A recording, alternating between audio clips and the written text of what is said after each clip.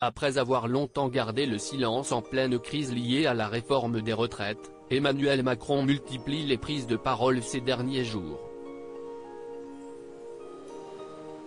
D'ailleurs, il a accepté de répondre aux questions des lecteurs du Parisien, dont les échanges ont été publiés dimanche 23 avril 2023. Forcément, le chef de l'État a été interrogé sur cette réforme qui est loin de faire l'unanimité mais aussi sur le sentiment de beaucoup de Français qu'il semble être seul et qu'il ne sait pas trop vers où aller. Nous avons un cap, l'indépendance et la justice. Comme disait Clémenceau, il faut savoir ce que l'on veut, avoir le courage de le dire et quand on le dit, avoir le courage de le faire. Ce qui m'importe, si est que le pays avance, a-t-il ainsi répondu sur ce sujet?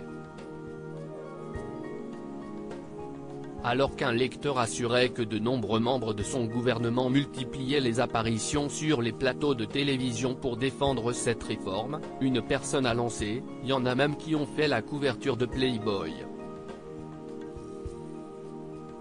Une sortie qui fait référence à Marlène Schiappa qui a accepté de poser pour le magazine. Ne m'emmenez pas sur des terrains glissants. A alors réagi dans un premier temps le mari de Brigitte Macron avant de donner son explication. Emmanuel Macron, est-ce qu'on aurait pu mieux faire? Oui non, mais la difficulté pour gouverner aujourd'hui, si est que le système parle tout le temps. Il y a eu des erreurs de communication, des choses qui n'étaient pas claires. Et hop, ça s'infecte tout de suite, ça dérape. Et, du coup, ça érode la confiance. Est-ce qu'on aurait pu mieux faire? Oui. Mais vous avez raison, moi aussi je pense à la suite.